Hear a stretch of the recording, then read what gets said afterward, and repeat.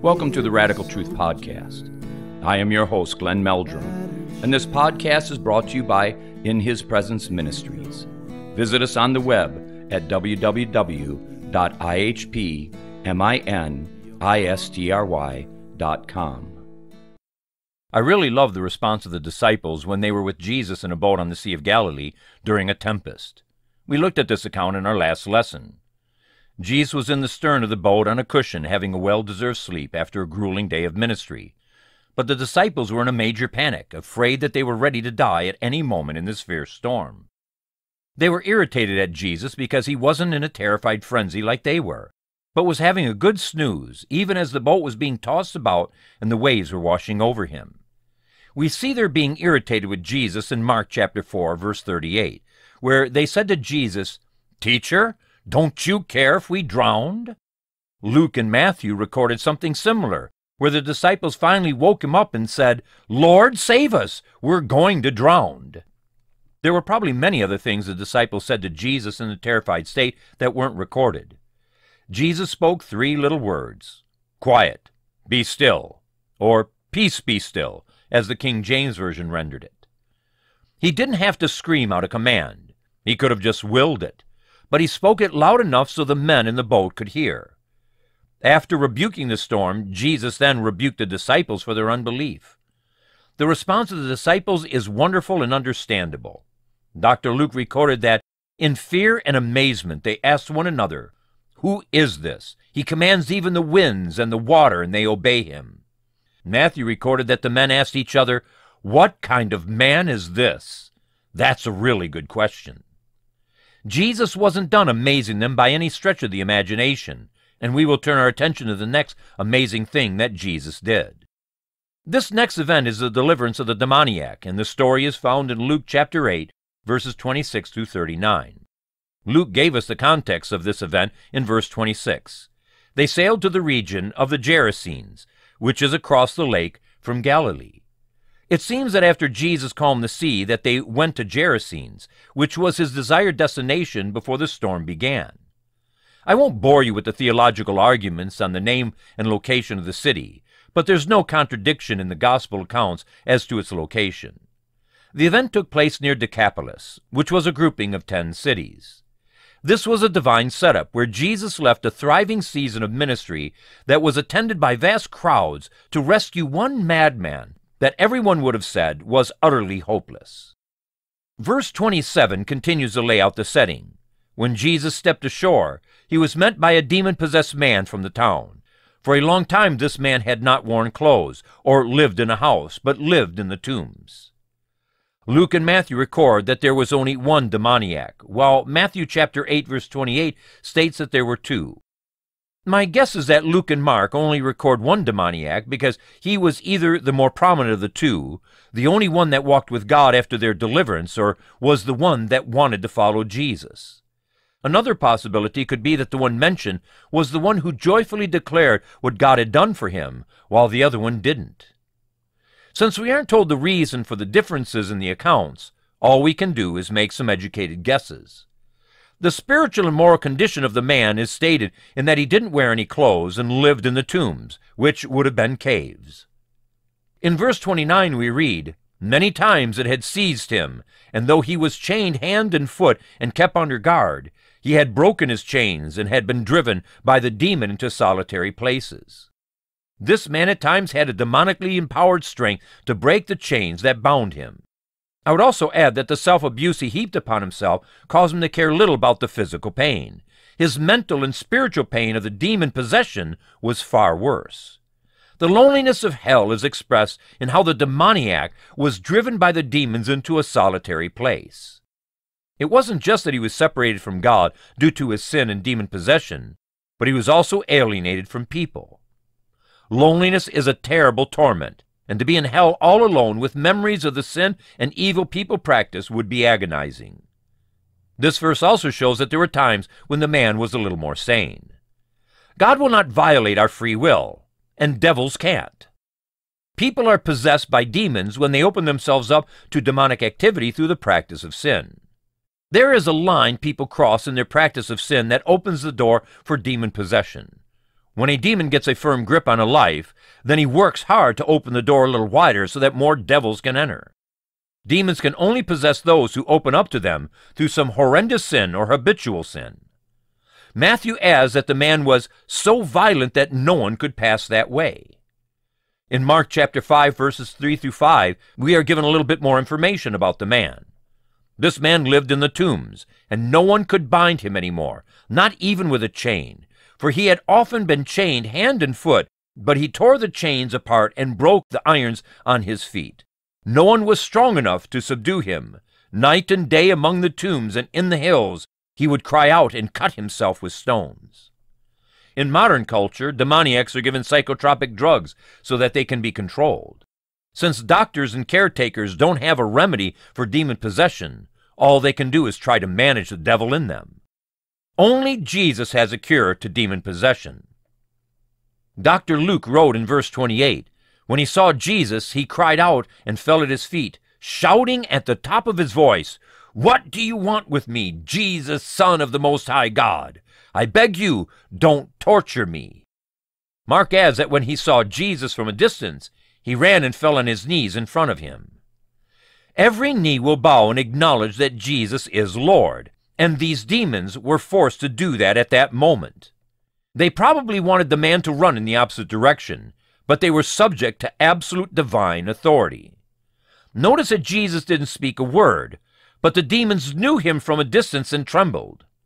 It's ironic that demons know who Jesus is far better than the religious Jews did.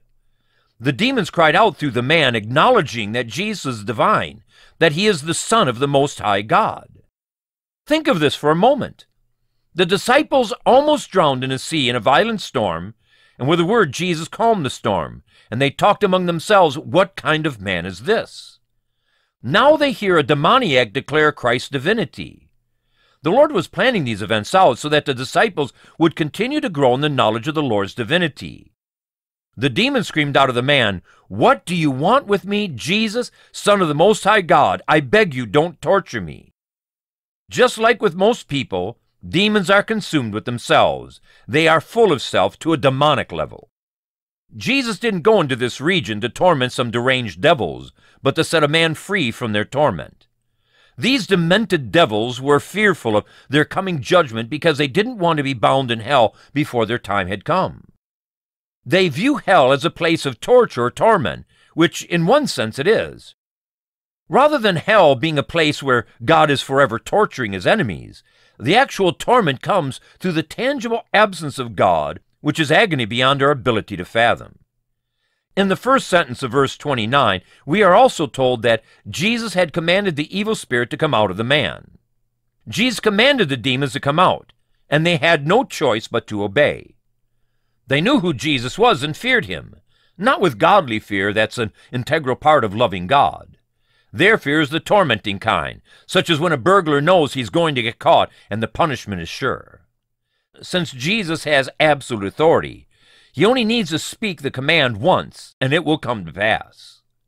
Isn't it strange how rebellious demons know Christ better than we do? They don't know Christ in the relational sense, which only belongs to Christ's followers, but in the intellectual and experiential sense, where they know who God is and what he can do.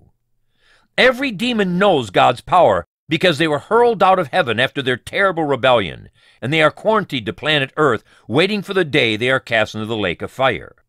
Their rebellion against God bred in them a raging hatred for the God that they once loved. Yes, fallen angels are the first backsliders, and those who don't believe in backsliding have a terrible time explaining what happened to the fallen angels and how they got into that condition. What goes on after this isn't an expression of devils fighting against Christ's authority because they can't.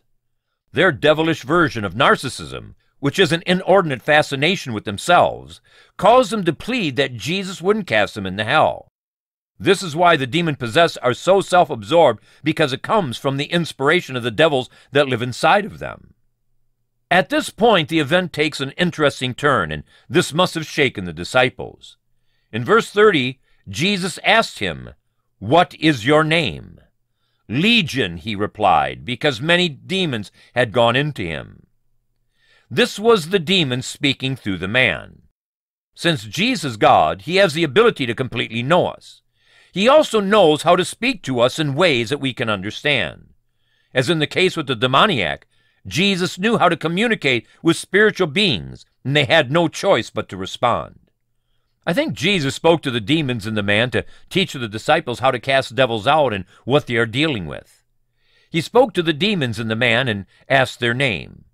Their name was a collective one, in that all the demons were identified by that one name. In this way, the demons were unified. Their collective name was Legion, because many demons had entered into him. A Roman legion consisted of 12,500 soldiers. Was there literally a legion of demons living in the man? We can't say one way or the other because the exact number isn't given to us beyond their collective name. But we know that there were a lot of devils in him. The evil desire of demons is expressed in verse 31. And they begged him repeatedly not to order them to go into the abyss. Why did the demons not want to be cast into hell? I think for two major reasons. First, it has to do with their all consuming narcissism that defines them. They were seeking to save their lives from torment until they are forced into the lake of fire. Secondly, demons have an unquenchable hatred for God. But how do you hurt an all powerful being? Satan doesn't have the power to remove God from his throne, though he tried and failed. Demons want to hurt God by corrupting those who are made in his image. Before they receive their final judgment, they want to ruin and corrupt as many people as possible. They want to take mankind that was made in the image of God and cause them to reject that phenomenal gift and then be fashioned into the image of devils. This is more horrifying than we can imagine. The idea that the demons begged Jesus repeatedly gives us to understand that there was more to their conversation than what is recorded. This wasn't a time of fellowship between Jesus and those devils, for there is no fellowship between light and darkness. Jesus had an agenda which was to set the man free and to instruct his disciples through this field trip. Once that purpose was accomplished, then the conversation was over, and the demons had to leave. In verse 32, the picture grows larger and clearer. A large herd of pigs was feeding there on the hillside, the demons begged Jesus to let them go into them, and he gave them permission. Pigs are forbidden food under the Mosaic covenant because they are unclean animals. With all that we know about pigs today, it's easy to understand why they are unclean animals. God knew this and gave this command to protect the people. The presence of a large herd of pigs tells us that the region must have had a substantial Gentile population. Yet they were probably owned by Jewish merchants and swine. This is an express violation of the Mosaic law. Their destruction, as we will see in the next verse, was the proper manifestation of divine justice for violating his commands. The demons begged Jesus to be allowed to go into the herd of pigs. How fitting! Unclean spirits wanted to go into unclean animals, and here you have a match made in hell. Though the demons begged Jesus to allow them to go into the herd of swine, he didn't allow them to do so out of pity for them but to further demonstrate his power and authority. Jesus took his disciples on a teaching trip where they could learn a much needed lesson that would help them advance the kingdom of God after the Lord ascended into heaven. The disciples had been shown Christ's divinity by calming a raging tempest, which proved he was Lord of creation. Now Jesus proved to his disciples that he was Lord over all angelic beings, including devils. These two events proved to the disciples Christ's divinity, Yet they were slow to comprehend this. There is one major reason why they had such a hard time grasping this truth. Israel had been severely disciplined time and again over their persistent idolatry. It was severe discipline that eventually cured them of their outward form of idolatry where they worshiped graven images. The command in Deuteronomy chapter 6 verse 4 became foundational to the Jewish faith at that time. Hear, O Israel, the Lord our God, the Lord is one. This clearly teaches that there's only one God. Then further down in that chapter, they were commanded, Do not follow other gods, the gods of the people around you. For the Lord your God who is among you is a jealous God, and his anger will burn against you, and he will destroy you from the face of the land. This truth was instilled in the people and made it difficult for them to think that God would become human and walk among them in humility. Before the eyes of his disciples, Jesus gave the demons permission to go into the herd of swine, and those men saw proof of Christ's power and authority over the spiritual realm. Verse 33 presents the evidence. When the demons came out of the man, they went into the pigs, and the herd rushed down the steep bank into the lake and was drowned. The man who was demon possessed had gone mad through the torment those demons inflicted upon him. Now we see the same thing in a herd of swine that went mad and ran off a cliff in an effort to free themselves from the torment of these devils. I don't think the demons wanted the swine to kill themselves, since they begged Jesus to inhabit their bodies. Their possessing the pigs produced in them the only response those animals could have to such vicious tormentors.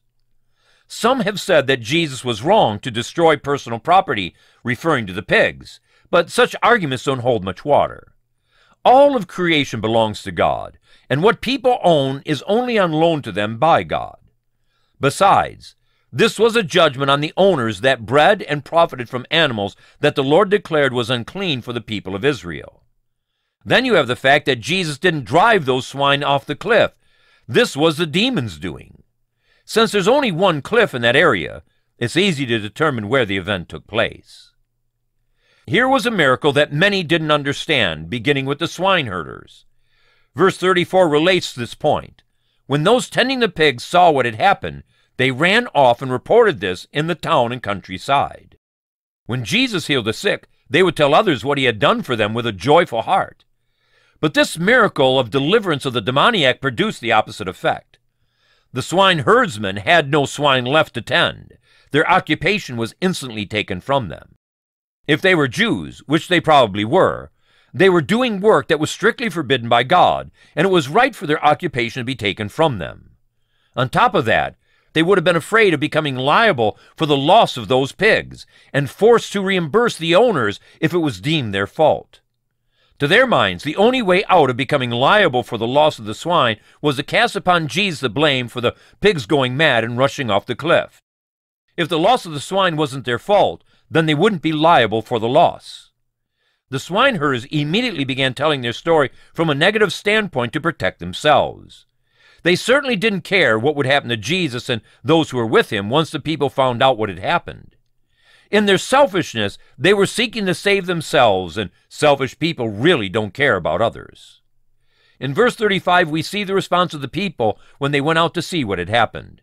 When they came to Jesus, they found the man from whom the demons had gone out sitting at Jesus' feet, dressed and in his right mind, and they were afraid.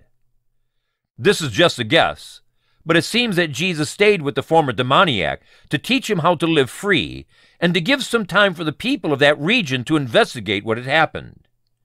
If this was the case, then Jesus was being very kind to the swine herdsmen so that they wouldn't be sold into slavery to pay for the debt of the lost pigs, which would have been a very large amount of money. I think also that Jesus waited for the people to come out so that the testimony of the man that was set free from a legion of demons could be known and the story spread throughout the area.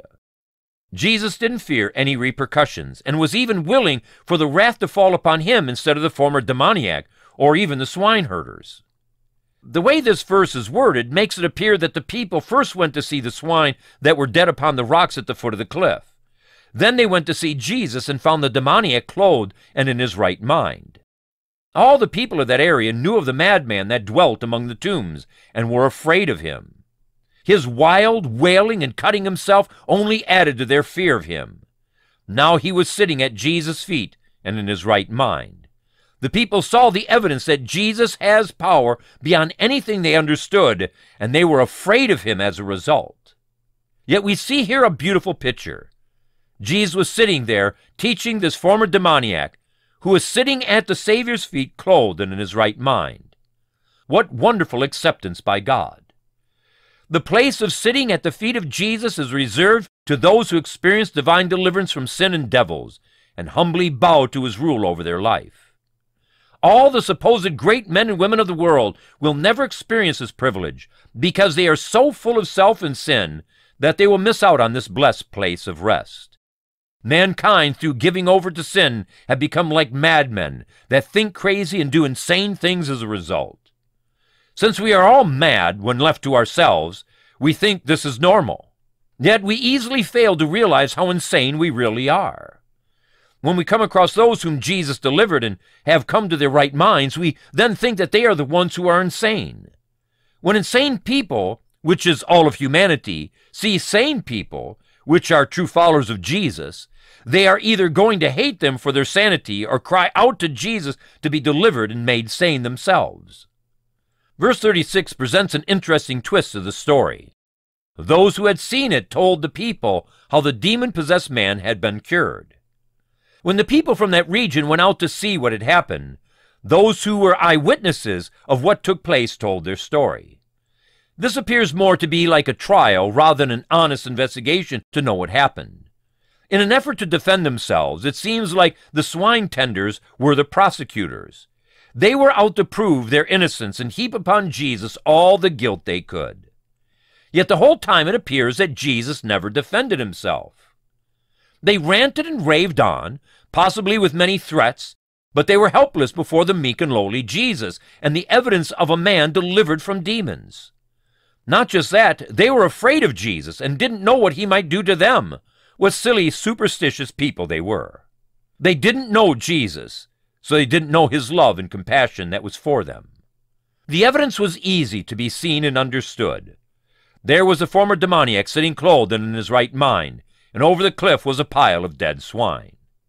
It was obvious that the demons left the man and went into the pigs, who were driven mad and ran off the cliff. The question is, what will we do with Jesus? And there are only two options. Either they will bow before him as the promised Messiah, or they will drive him away, not wanting his intervention into their lives. We see their sad response in verse 37.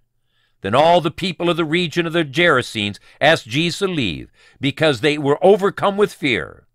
So he got in the boat and left. After Jesus calmed the storm on the Sea of Galilee, the disciples asked themselves, What kind of man is he? In their own way, the people of Gerasenes were asking a similar question. The disciples chose to continue to follow Jesus, though they were overcome by what they saw on the sea. In contrast, the people from that region chose to reject Jesus and drive him from their land. All of humanity will fall into one of these two categories. Jesus got into the boat and left because he will not stay with those who don't want him, but will abide with those who do. This is a very important biblical principle. Jesus comes to those who want him and rejects those who don't. Does that seem harsh to you? Yet Jesus honors the choice people make concerning him.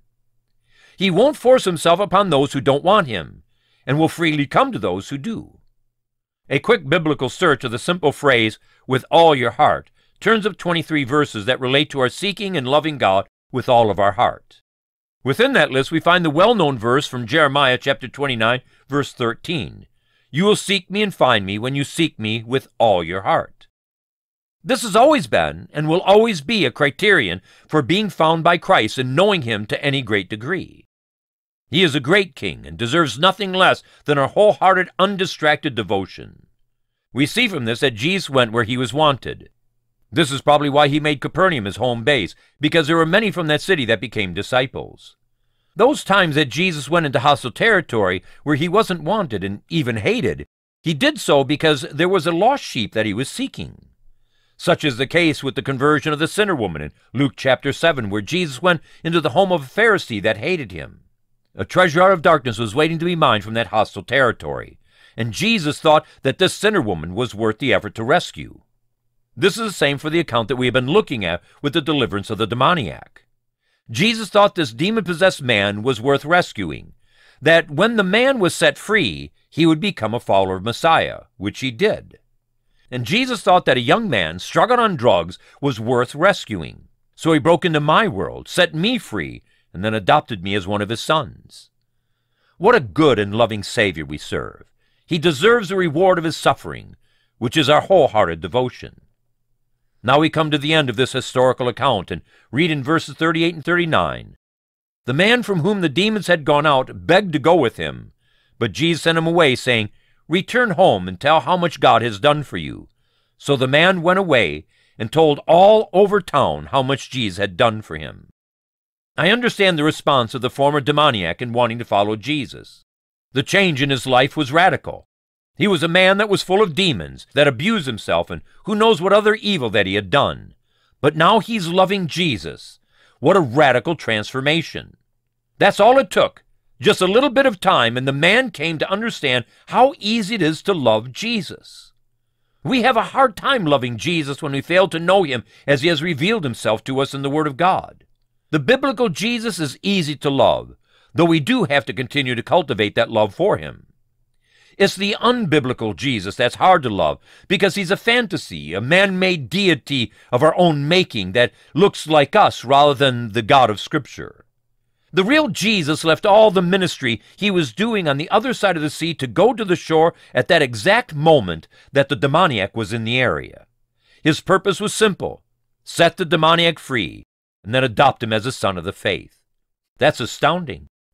If the man didn't want to be with Jesus, then his salvation wasn't real or didn't go very deep, like in the parable of the sower. If we don't have a love for Jesus that craves his nearness, then either we don't really know him or we have chosen to follow from a distance. Jesus sent the man away, not because he didn't want the man to be with him, but the Lord had a mission for him to do. What was the man's mission? Return home and tell how much God has done for you. That man didn't have time to go to seminary. His mission began immediately because there were souls at stake. And Jesus knew the man didn't need a seminary degree because he had something far better, which was the powerful testimony of God's great deliverance and acceptance. The passion the former demoniac had would do more than a formal degree that has ruined many a man for ministry. I'm not against getting a degree. I have a master's degree in theology, church history, and philosophy. But education doesn't make a calling. It doesn't make a man or woman of God. With the terrible compromise that's in most Bible schools and seminaries today, I would say that most people are better off not getting a degree. They would be further ahead to grab their Bible and some good commentaries and immerse themselves in God's Word. Then go to the highways and hedges and seek for the lost who might be like the sinner woman or the demoniac that deep inside are aching for deliverance and God's salvation we are told that the man obeyed. So the man went away and told all over town how much Jesus had done for him. Delivered and saved one day, and the next day testifying to the saving power of Jesus. That's biblical Christianity.